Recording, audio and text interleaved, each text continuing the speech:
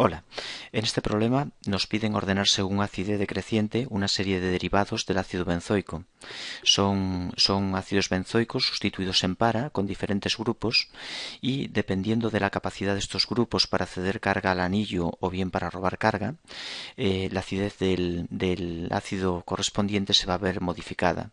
El ácido benzoico presenta un hidrógeno ácido eh, como sabemos en el grupo carboxílico, y esta acidez eh, está condicionada por el tipo de sustituyentes que lleve la cadena.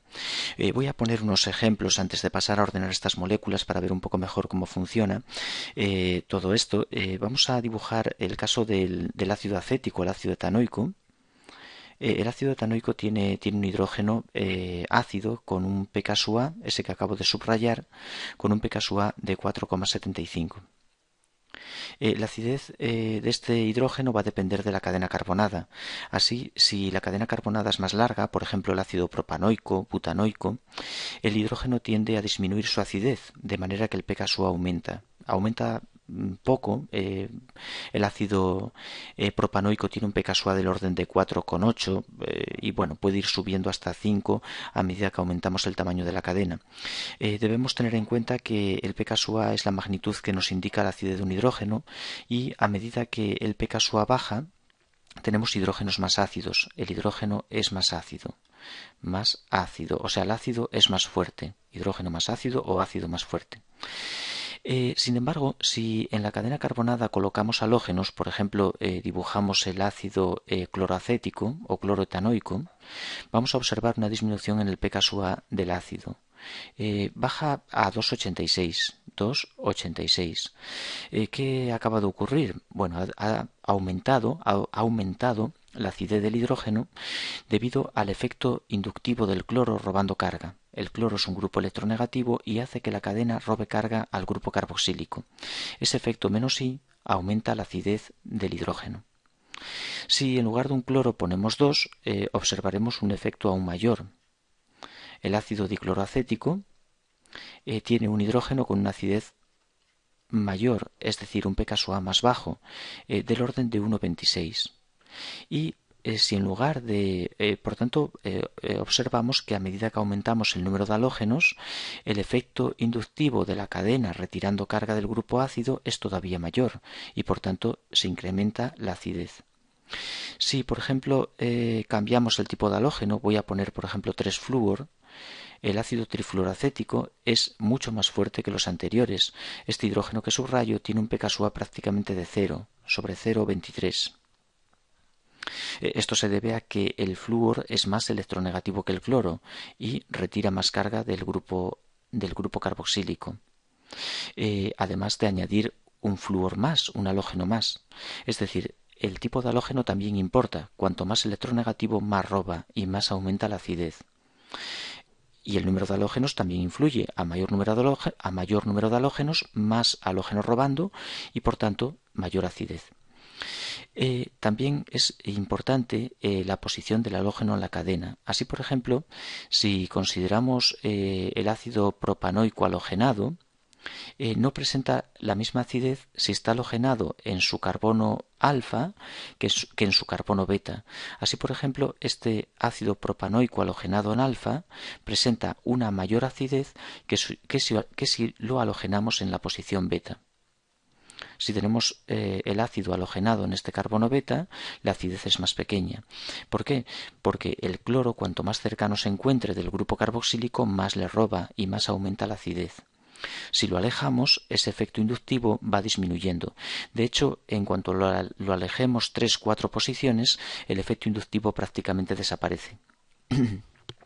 Eh, bien, vamos a ver eh, la razón por la que un grupo que retire carga aumenta la acidez de un ácido carboxílico. Eh, por ejemplo, mm, si consideramos la base del, ácido del primero que dibujé, del ácido etanoico, su base conjugada es el, acetato, los acetatos. Eh, los acetatos son una base eh, la más fuerte de todas las que he dibujado aquí la base conjugada más fuerte. ¿Por qué? Porque la cadena, al no tener grupos electronegativos, da carga por efecto inductivo al grupo carboxílico. Y eso hace que el oxígeno tenga una importante densidad electrónica. Por tanto, se va a tratar de una base eh, la más fuerte de todas. Por ejemplo, si cogemos el, el, último ácido que dibujé, el ácido trifluoracético, y le quitamos el hidrógeno, obtenemos su base conjugada, el trifluoroacetato. Este trifluoroacetato tiene un oxígeno con una densidad electrónica realmente pobre, debido al efecto inductivo de los flúor que retiran carga. Por tanto, se trata de una base muy débil, la más débil de todas las que he dibujado. Eh, este oxígeno es el más básico de todos los que pinté, por tanto, se trata de una base fuerte comparada con las demás. Una base fuerte que indica, ¿qué significa? Que al ponerle un protón, le ataca rápidamente para protonarse y dar el ácido conjugado. Es decir, estamos ante una base fuerte y por tanto el ácido conjugado es débil. Un ácido débil tiene un pK A alto. Si ahora pasamos a eh, comparar con la base conjugada del último ácido, estamos ante una base muy débil debido a que los flúor retiran carga, disminuyendo la densidad electrónica del oxígeno.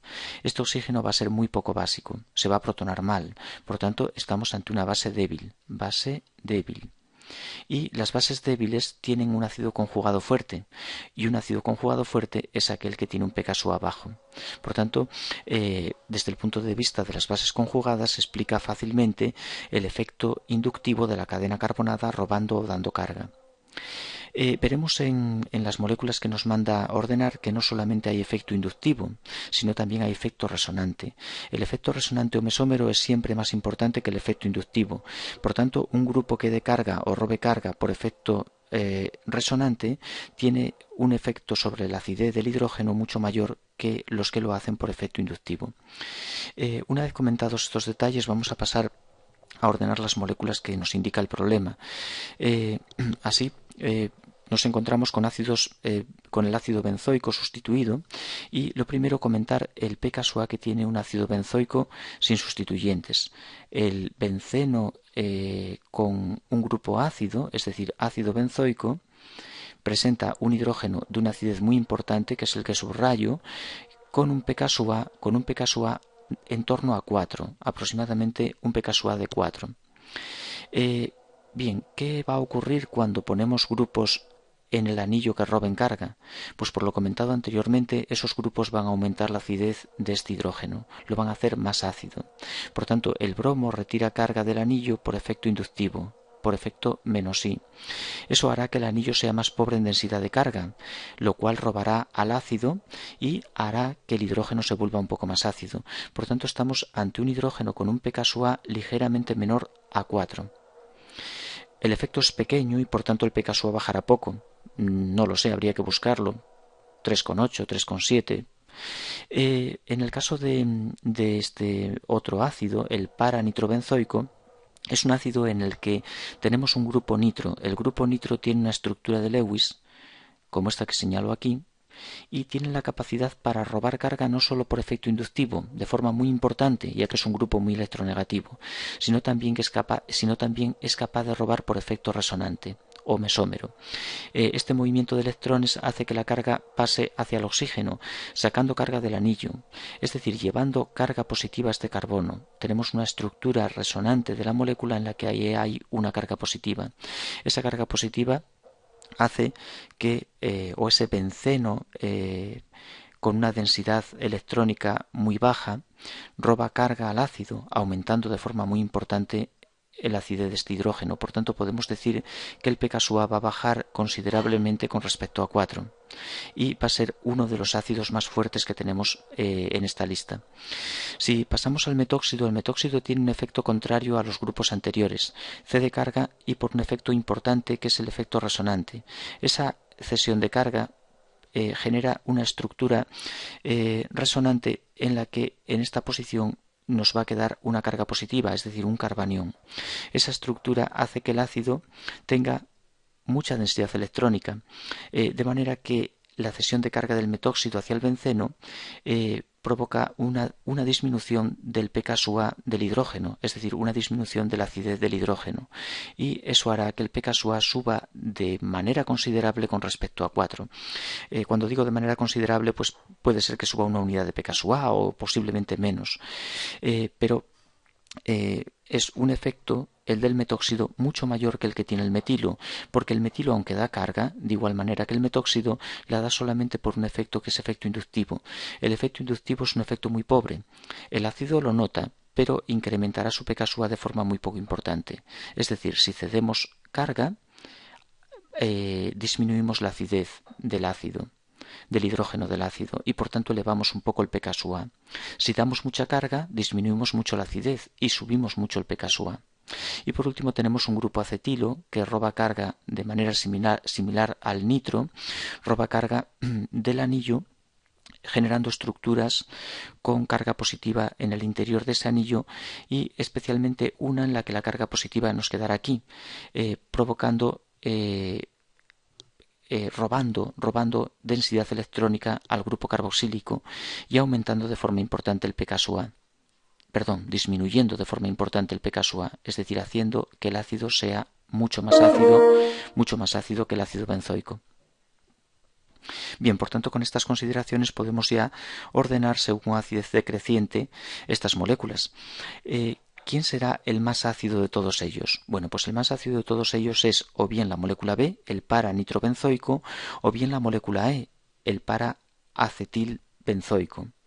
El grupo nitro es más electronegativo que el grupo acetilo, por tanto es de esperar que la molécula B sea más ácida que la E es decir, tenga un pKa más bajo. Esta molécula va a ser la que tiene el pKa más bajo de todas ellas.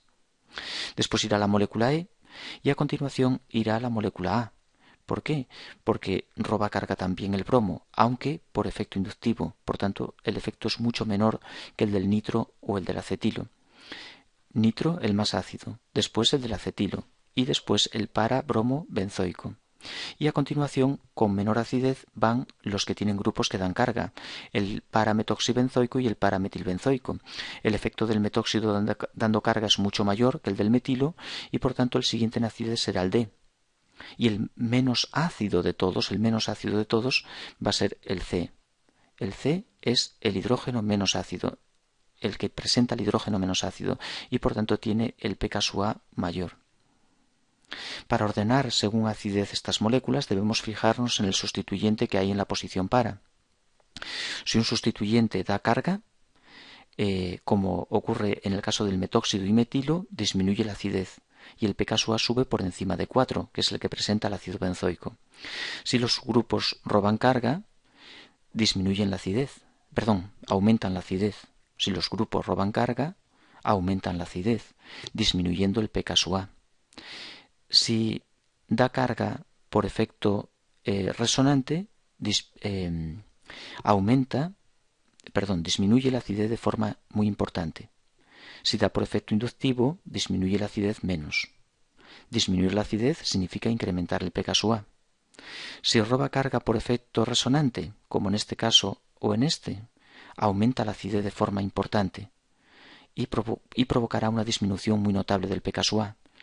Si roba carga solo por efecto inductivo, aumenta solo ligeramente la acidez, disminuyendo levemente el pKa.